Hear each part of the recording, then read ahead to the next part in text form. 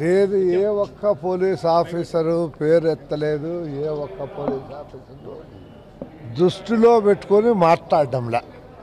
మీ పైన కేసులు పెట్టిస్తే ఏం చేస్తారమ్మా? వచ్చేవాడు మీకన్నా వెన్నమక ఒకటే పోతుంది. వారికి కాళ్ళు చేతులు పోయినా కూడా తెచ్చుకుంటే మేము వెన్నెముకలే కాళ్ళు ఇలా చేతులను తెచ్చుకుంటాము. అంటే నూటికి నూరు రూపాయలు మా మాట వినేవాడిని చాలు ఎమ్మెల్యే సార్ చెప్తే చాలు. మనం చెయ్యాలా?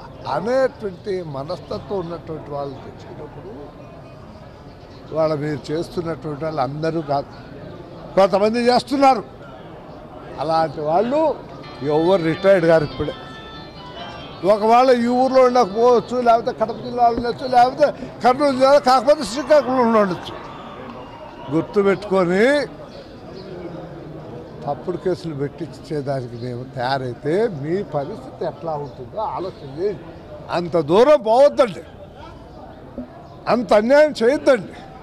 ఆ రకమైన అన్యాయం చేసిన వాళ్ళకి అది ఉంటుంది తప్ప మంచి వాళ్ళకి ఎందుకుంటుందా మేము మనుషులమే మాకు మానవత్వం ఉంది అన్నీ ఉన్నాయి.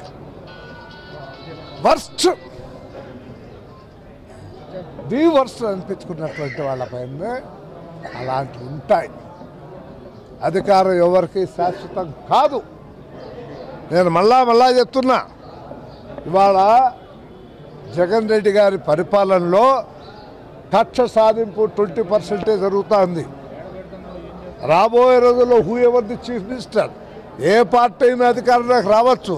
నువ్వు కాలువ చేసి వదిలిపెట్టావు కాబట్టి నీళ్ళు ప్రవహించడం మొదలవుతుంది కాబట్టి రేపు వచ్చేటటువంటి ఇంకా కాలం ఇంత వెడల్పు చేసి ఇంకా వేగంగా ప్రవహింపజేస్తాడు అని నేను చెప్తున్నాను తప్ప నేను ఏ ఒక్కరి పేరు ఉచ్చరించలా. పోలీసు వాళ్ళు నా పైన బాధపడాల్సిన అవసరం లేదు. ఇంకా మా సార్ మా అసోసియేషన్ ఉంది కాబట్టి మేము మాట్లాడుతూ ఉంటే మాట్లాడుకోండి. మా మా నాయనకంటే పోతాను చేస్తున్నారు. ఇవాళ మా వాడిని ఉండి సాగుకొట్టి నువ్వు ఎన్ని రోజులు ఉంటావురా ఈ పార్టీలో? లోపలేసి ఉంచుతా జాగ్రత్త.